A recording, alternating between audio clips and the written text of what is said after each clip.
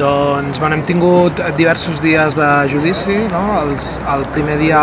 vam plantejar des de les defenses totes les qüestions a nivell formal i procedimental, tots els defectes, totes les vulneracions de drets que pensem que s'han posat de manifest en aquest procés, algunes d'elles molt greus, no? com la utilització de fitxes policials, com la detenció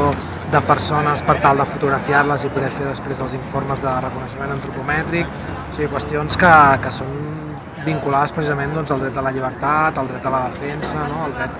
eh, al tribunal independent, etc. I després, hem, com que els acusats doncs, van optar per un dret que tenen reconegut, que és a no, a no declarar en aquest procediment, doncs, hem anat abordant tota la prova eh, plantejada principalment per l'acusació, que és aquí qui té l'obligació de, de portar els testimonis i les proves. Hem tingut eh, tota una part de prova policial que va venir a explicar la investigació feta, sobretot per l'àrea central d'informació de Mossos d'Esquadra, i eh, bàsicament el que va posar de manifest quan vam començar a posar-los contra les cordes des de les defenses era que mm, no volien donar-nos la informació ni explicar-nos de per què ni com havien arribat a la identitat d'algunes de les acusades. Pensem que la majoria de les acusades no tenien antecedents eh, policials, no havia estat detinguda i per tant era impossible si no és que existeixen efectivament fitxers policials o, o informacions i mètodes totalment paral·lels i il·lícits que s'arribés a identificar les persones de les imatges de la televisió amb les persones de les acusades. No? Vam insistir molt en aquesta qüestió, Mossos el que va fer va ser plantejar que havien treballat en base a denúncies anònimes, que això d'altra banda és una metodologia que no està, no està permesa,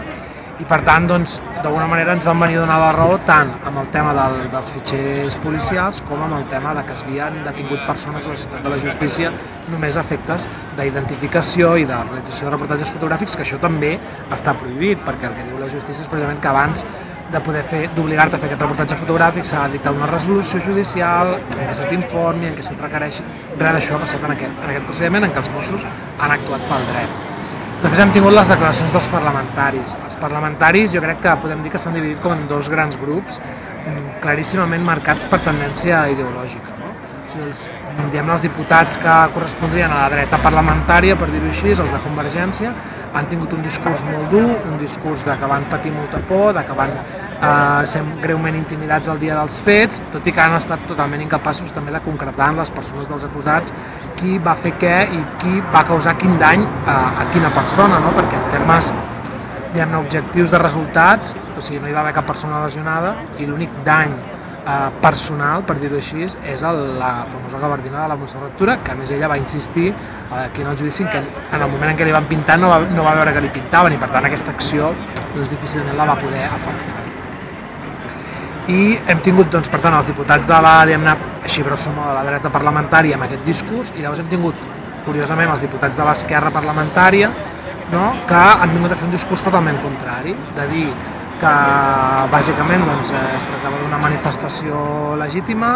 d'una protesta justificada, d'un moment doncs, molt concret, no? tot molt vinculat amb el tema del desallotjament de plaça Catalunya i amb la discussió dels pressupostos eh, antisocials i que per tant entenien que formava part no, de la seva condició de, de parlamentaris doncs, ser increpats i rebre interpel·lacions per part de la, de la pròpia població. No? I avui en aquest sentit hem sentit alguns testimonis especialment, especialment clars. S'ha tancat la prova testifical amb, la, amb els testimonis de la defensa, en què nosaltres ens interessava sobretot posar de manifest que la, el, els termes en què es havia fet la convocatòria, perquè hem de posar sobre la taula també que tenim una acusació d'associació il·lícita eh, per part del sindicat Manos Límpies i que per tant nosaltres hem d'explicar que en qualsevol cas